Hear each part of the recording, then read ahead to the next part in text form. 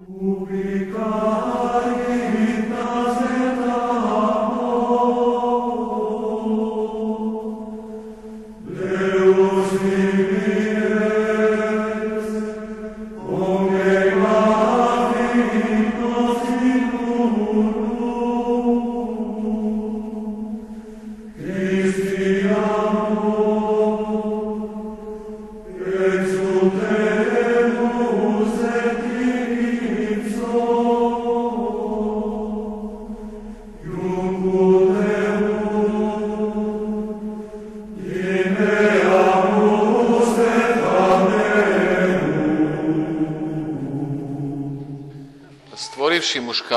I ženu, Bog je ustanovio ljudsku obitelj.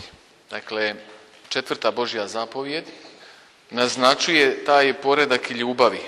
Kako kaže katekizam, Bog je htio da iza njega poštujemo roditelje kojima dugujemo život i koji su nam predali spoznaju o Bogu.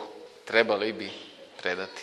Pozvani smo dakle častiti i poštivati sve koje je Bog za naše dobro zaodjenuo svojim autoritetom.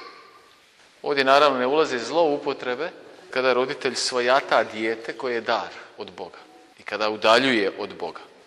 Ali dakle, Bog je u svome promislu primarno predvidio da častimo i poštivamo sve koje je Bog za naše dobro zaodjenuo svojim autoritetom. Što znači za naše dobro?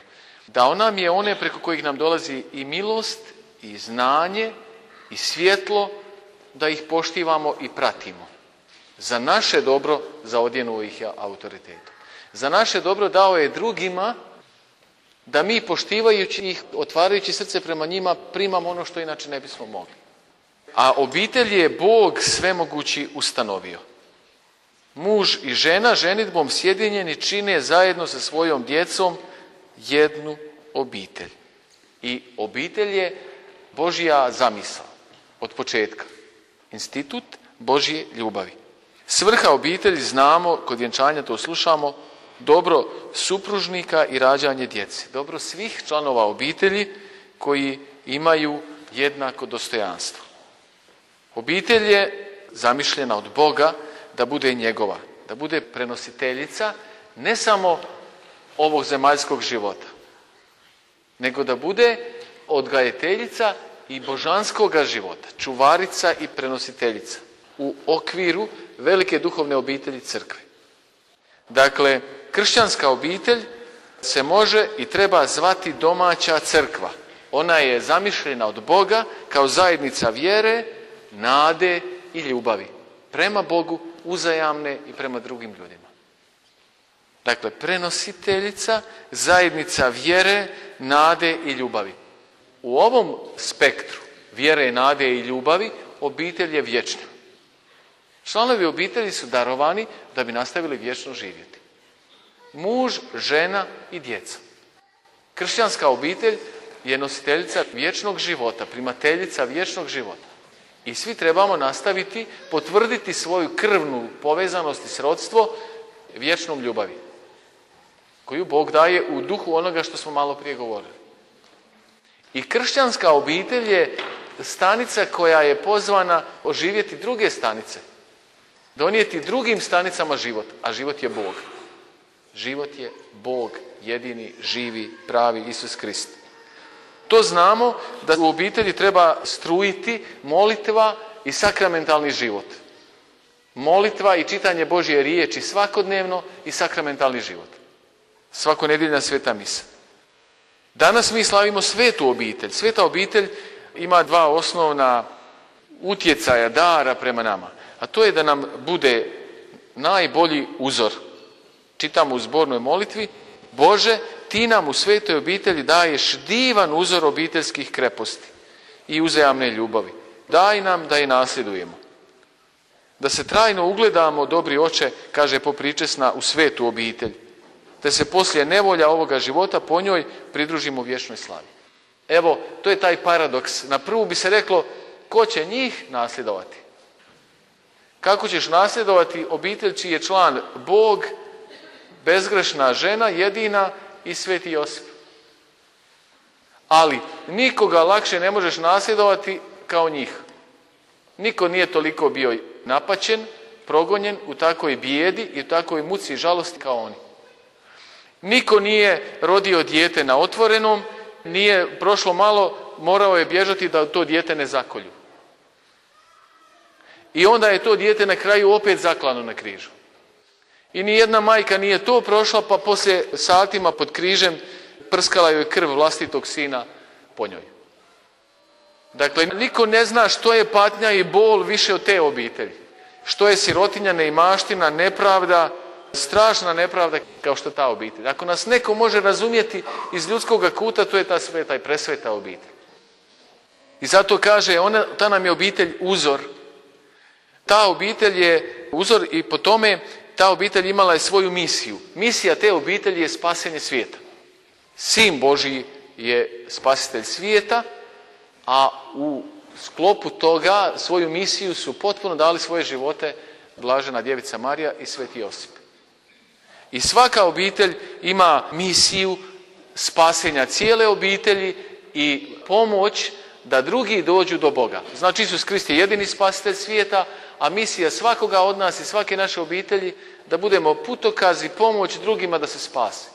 Da kroz ta otvorena vrata neba dođu u svoju vlastitu sreću i obraduju Boga. Predragi moji, svrha obitelji je dobro bračnih drugova, to je ono što je definirano od Boga po crkvi, i djeca, rađanje djece, donošenje novih života na radost Bogu i na radost ovome svijetu, ali zadaća obitelji, prave obitelji je prenos božanskog života koji se prima, prihvaća na krštenju. I kaže, dragi roditelji, na krštenju, dijete koje ste donijeli na krštenje, primit će sada, po sakramentu krštenja, od Božje ljubavi novi život. Božanski život. Uzalud bi se rodio, ako neće primiti taj božanski život. Jer ovaj život koji mi živimo, žive i životinje oko nas. Ali božanski možemo živjeti samo mi. Na krštenju naša djeca po sakramentu krštenja primaju novi život odakle? Iz Božje ljubavi. Koje Božje ljubavi? S križa. S križa, križ probodeno u srce Isusovo je izvor svih sakramenata. Izvor svakoga života, izvor svake sreće. Dakle, po sakramentu krštenja vaše dijete prima novi život. A kaže dalje taj obrazac krštenja, uvijek, to slušamo kad se dijete krsti, a vi ga nastojite tako odgojiti u vjeri da se taj božanski život u njemu očuva od zaraze grijeha i da iz dana u dan raste. Ovo je primarna zadaća kršćanske obitelji. Ovaj ćemo život istrošiti, potrošiti, spiskati, konzumirati vrlo brzo i lako. Božić prolazi, Božić na Božić samo lista, ode, ode, ode. Zamislite, knjiga našeg života, nekoliko desetina stranica, nekoliko desetina godina.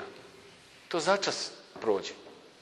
Uzalud bismo se rodili i živjeli u tijelu ako ne primimo ovaj božanski život i ne sačuvamo ga. E tu je najveća zadaća obitelji. Brak, sakramenat braka je Božji propis, Božja ustanova. Najvećeg prava. Brak, zajednicu obitelji, muškarca i žene i djece je Bog oduvijek zamislio. Prije svih ovih ustanova europskih i ne znam kojih. Dakle, Bog je oduvijek htio obitelj i obitelj je prenositeljica fizičkog života, zemaljskog života, ali iznad svega njegovateljica, prenositeljica, čuvarica božanskog života kojeg djeca primaju na krštenju. Da bismo onda, ako taj život u nama raste, kad raste u nama taj božanski život, raste u nama stupanj vječne sreće. Da bismo jednom bili svi vječno zajedno u nebu. Obitelj je ona koja je stvorena za vječnost. I te naše relacije u nebu neće nestati, nego će biti naše obogaćenje. Našu radost u nebu će svakako uvećavati kad je u nebu pored mene i član moje obitelji. To je naša još dodatna sreća. Dakle, prihvaćate li tu zadaću da odgajate u vjeri da prenosite dar vjere, da sačuvate i prenosite svojim svjedočanstvom taj božanski život koji je vaše dijete primilo na krštenju. A što uvećava taj božanski život za koji se obitelj obavezuje pred Bogom i pred svijetom, pred crkvom, pred zajednicom, da će ga u djetetu gojiti i sačuvati i uvećavati i čuvati ga od zaraze i grijeha. Znači, božanski život u nama koji primamo na krštenju uvećava molitva, uvećavaju se kramenti, euharistija, ispovjed, duhovne obnove, hodočašća, duhovna djela milosrđa, tjelesna djela milosrđa, žrtvice male, postovi, pokore koje činimo, ali iznad svega žrtve koje Bog bira, bolesti, patnje, boli. Znamo da je mučeništvo kruna ljubavi prema Bogu. To je prihvaćanje darivanja života iz ljubavi prema Bogu. To je vrh ljubavi prema Bogu, a ugrožava ga i gasi u nama taj vječni život grijeh. Kroz tijelo, kroz svijet, kroz pohotu, požudu, pohlepu, oholost i đavao na sve moguće načine. Znači, obitelj je ta koja treba voditi čovjeka prema Bogu i čuvati u nama taj božanski život. Predragi moji, vjera je, kako kaže katekizam, osobni čin. Ipak, vjera nije osamljen čin. Nitko sam sebi nije dao vjeru, kao što sebi nitko sam nije dao života.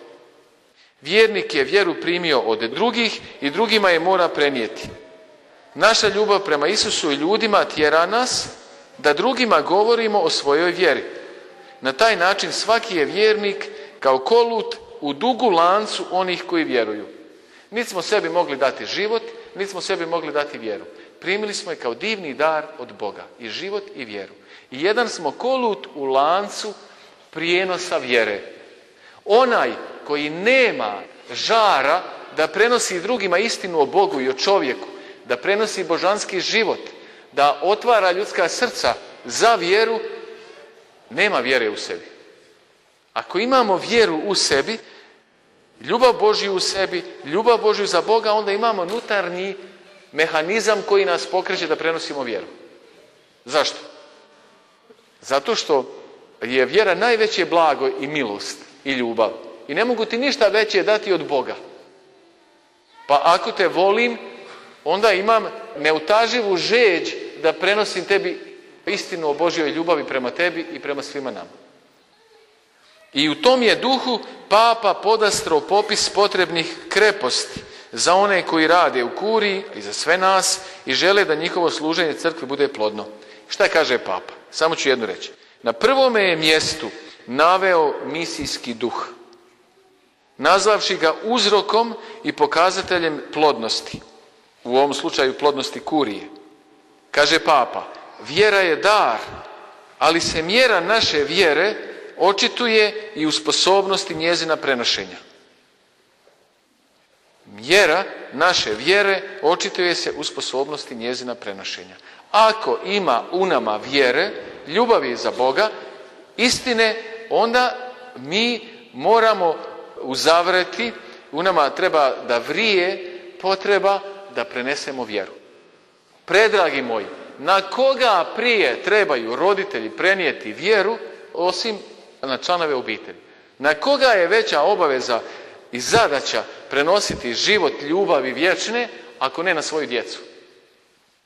Kako si prijatelj svoje djece ako im daješ sve alate ovoga svijeta, a ne daš im Boga? Šta si im to stekao i prenio i dao? Ako im Boga jedinoga, koja je jedina sreća, koji je jednako sreća, koji se dijeli besplatno, koji se ne može izgubiti osim vlastitom krivnjom, nisi prenio, a osigurao si im neka zemaljska dobra, koja su bez Boga apsolutno smeće. Potpuna nula. Sve ima smisla u našem životu, ako je i Bog u našem životu.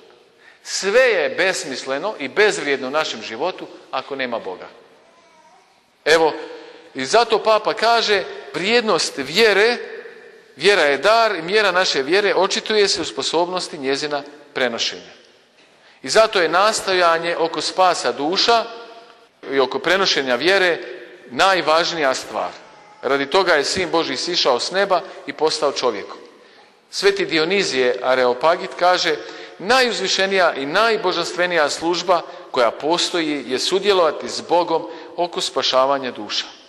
Bog hoće da se svi ljudi spase i da dođu do spoznanja istine, a to se događa po vjeri. Sveti Ivan Zlatousti kaže, ma makar ti razdijelio mnogo novaca među siromahe, ipak ćeš mnogo više učiniti ako obratiš jednu dušu. A Sveti Grgur kaže, veće je čudo obratiti grešnika riječi u propovjedi i utjehom govora nego li iskrisiti mrtvaca. Najveće što možemo učiniti je prenijeti nekome dar vjere. Otvoriti mu srce za milost i ljubav i prenijeti mu život božanski.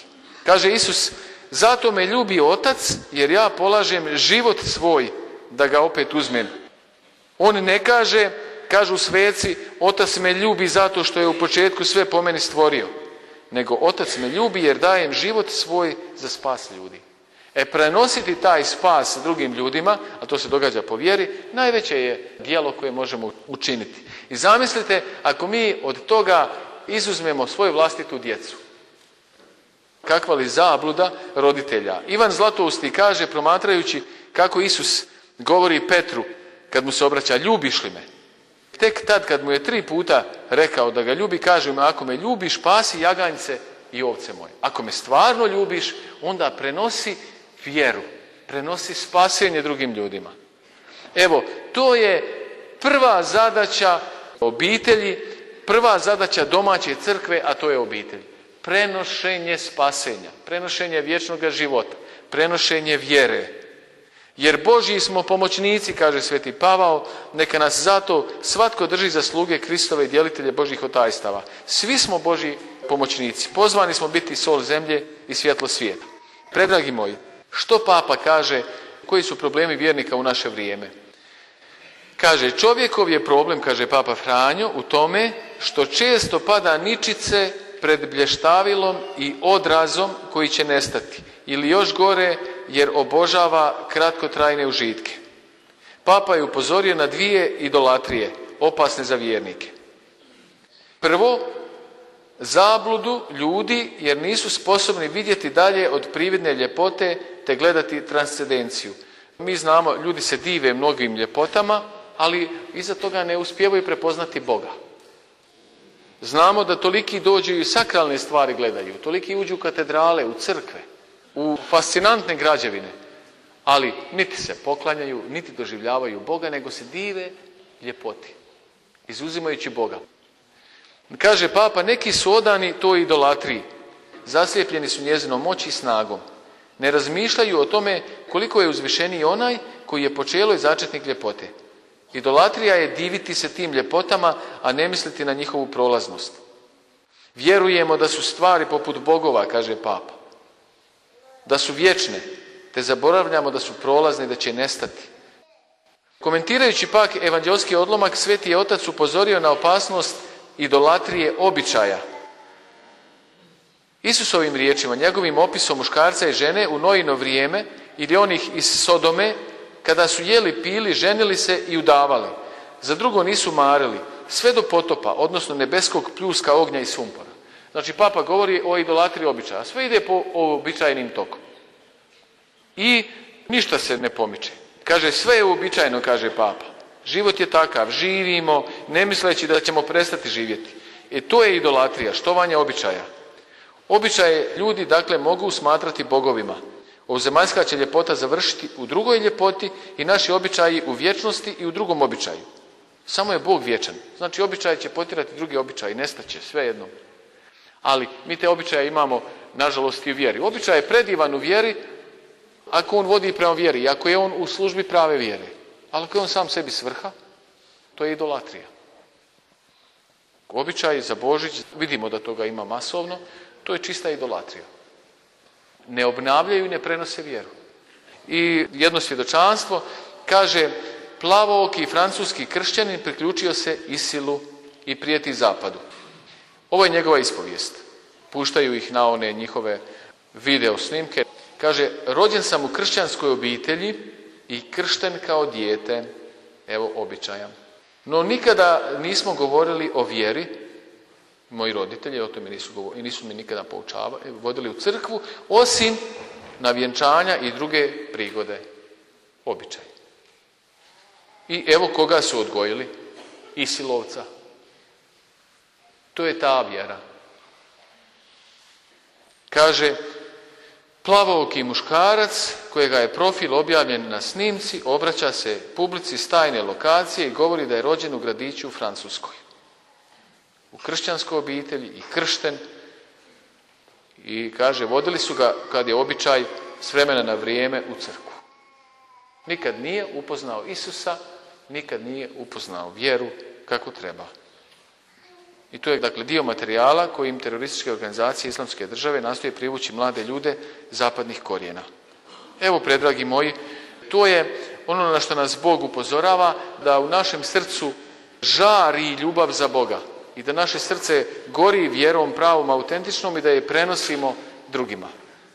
To je smisao ovih susreta. Ako to ne dogodi se, ako u nama nema života milosti, ljubavi, istine, vjere, Boga, onda mi nismo u stanju prenositi ono što smo govorili u drugim prilikama, ko ne gori ne užiže. Ko ne gori u srcu, Bogom, ne može prenijeti Boga. Ne može zapaliti drugo srce Bogom.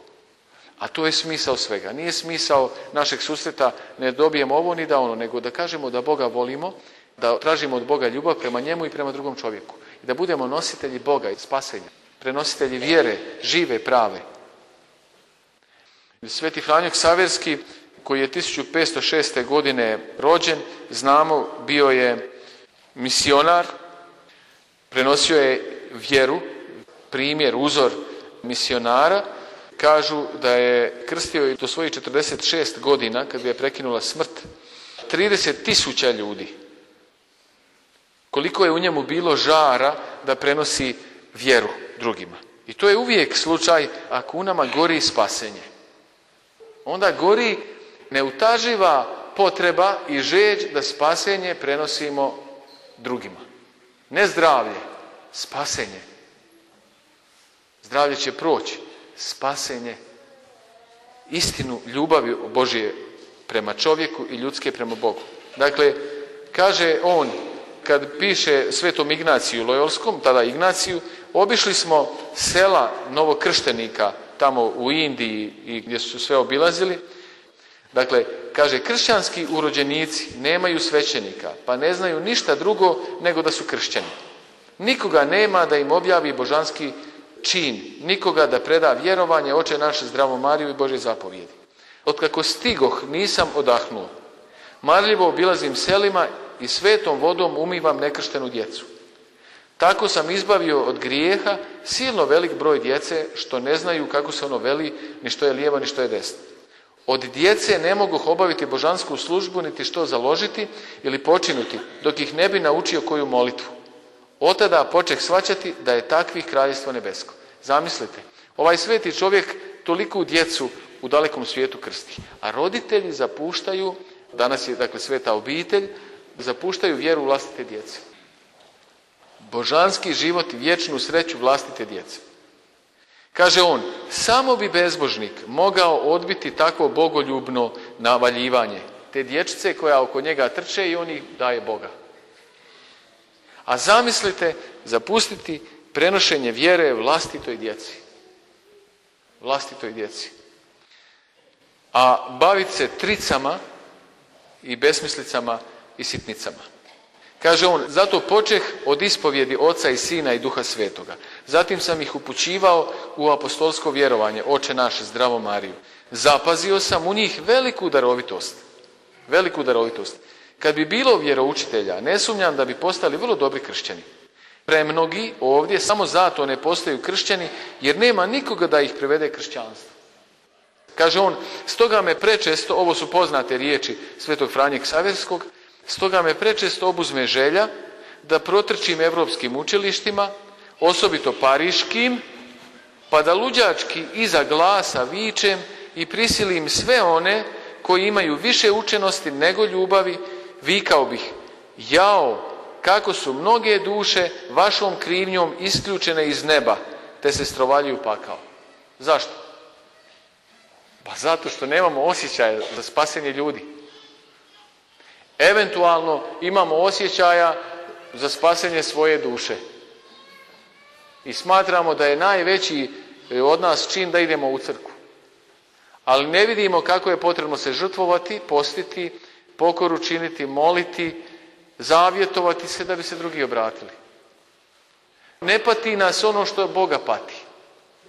Ne pati nas ono što svece pati. Da ima nekrštenih, da ima bezbožnih, dok jedan ima, mene mora mučiti to. Što, što je to što me muči? Ljubav. Da ona sreća koja se predamnom prostire, koja je vječna, da se prostire i pred mojim bratom i pred mojom sestrom. Evo to kaže ovaj sveti čovjek.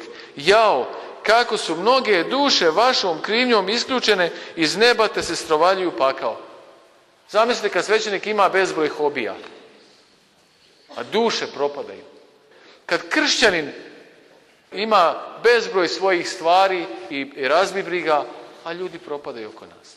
Ali zamislite kako je kad otac i majka nehaju za propadanje vlastite djece bez Boga. Ne postoji ništa usporedivo s. Tako žalostno.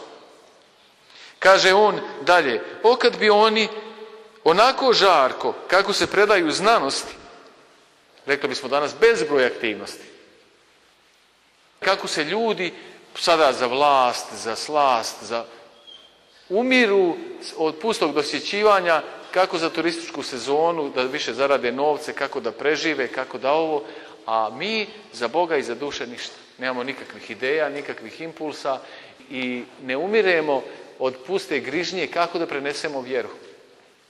Nego akademski mudrujemo što ćemo i kako ćemo. Imamo molitvu, imamo hodočašća, imamo zavjete, imamo post i pokoru, imamo prihvaćanje žrtava, imamo prihvaćanje bolesti, imamo prihvaćanje križeva, koji su najveći blagoslov je prihvatiti križ. S ljubavlju prikazati ga za nečije spasenje.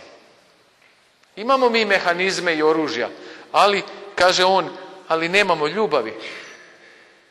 Nemamo istine. Mene najviše raduje ovdje da ima toliko naših mladih, ali kako je divno kad se mlado u srce odluči i kaže evo darujem ti Bože život potpuno za tebe. Ne postoji nešto usporedivo s tim. Za koga? Za spasenje drugih. To je nešto naj... Ja mislim da cijelo nebo, cijelo nebo se veseli. O kad bi oni onako žarko kako se predaju znanosti prionuli uz ovaj posao da bi mogli položiti Bogu račun za svoju učenost i povjerene talente. A kad bi mnogi od njih potaknuti tom mišlju i pobuđeni razmatranjem božanskih zbilja zapostavili svoje planove i ljudsku zaposlenost i poslije se predali Božjoj volji i pozivu te iz sve duše zavapili evo me gospodine što hoćeš da činim? Pošalji me kamo god hoćeš pa i u Indiju. Bože ti si propovjedanjem svetog Franje sebi stekao mnoge narode. Kaže molitva na njegov spomen daj svojim vjernicima istom revnošću širiti tvoju vjeru znamo ko je ovo dobro čuo majka Terezija kaže on pa i u Indiji ona je baš bila pa i u Indiji i njegovom revnošću prenosila istinu i ljubav o Bogu. Evo, predragi, to je naša vjera, to je naša radost, to je naša istina. Ono što se prostire pred nama divna i sretna budućnost, nakon prolaska kroz trnje, trebamo posredovati s velikom ljubavlju i prenositi drugima. Da nam Bog da taj žar, zato smo tu. Tu smo između Božića i Nove godine, vi želite više, najviše što možete dobiti je nerazrijeđenu Božju ljubav. Ne moljakanje od Boga daj mi ovo, daj mi ono, da na to svedemo odnos prema Bogu, nego Isuse ja te volim. Tvoja bol je moja bol, tvoja radost je moja radost. Bol i radost moje braće je i moja bol i radost. Propadanje moje braće i sestara je i moje propadanje. A njihovo spasenje je i moje spasenje. To je ono što Bog od nas traži. Da mi se brinemo za njegove probitke, za spasenje naše braće, za ono što je on došao na zemlju, a on će se brinuti za nas. Brinimo se mi za ono što se Bog brine, a On će se brinuti za nas. Ja o roditeljima koji o svemu vode računa osim o spasenju svoje obitelji, o spasenju svoje djece, a blago onima koji daju svojoj djeci Boga i kojima je glavna briga da Bog raste u njihovoj djeci. Da život milosti raste u njihovoj djeci. To znači da život sreće neutažive i neprekidne buja i raste u životu njihove djece. Blago takvim roditeljima. Na kraju krajeva to kaže i Božja riječ. Proklet čovjek koji se uzdaje u čovjeka i slabo tijelo smatra svojom mišicom i čije se srce od Boga odvraća. Jer on je kao drač u pustinji, ne osjeća kad je sreća na domaku. Tavori dane usahloj pustinji u zemlji slanoj, nenastanjenoj. Blagoslovljen čovjek koji se uzda u Boga, u kome je Bog uzdanje. Nalik je na stablo zasađeno uz vodu, što korijenje pušta potoku. Ne mora se ničega bojati kada dođe žega. Na njemu uvijek zelenilo ostaje, u sušnoj godini brigu ne brine, ne prestaje donositi plod. Blago onome koji svoju djecu uči i nauči i dovede i prenese im iskustvo da se uvijek oslanjaju na Boga. Blagoslovljen taj čovjek i blagoslovljena ta djeca. Ali kaže, proklet čovjek koji se uzdaje u čovjeka i koji drugoga uči da se uzda u čovjeka. Evo, pouzdajmo se u Boga, u živoga, pravoga, jedinoga Boga. Kako kaže Gospa, ja sam majka pravoga Boga. Može jedna pjesma prava.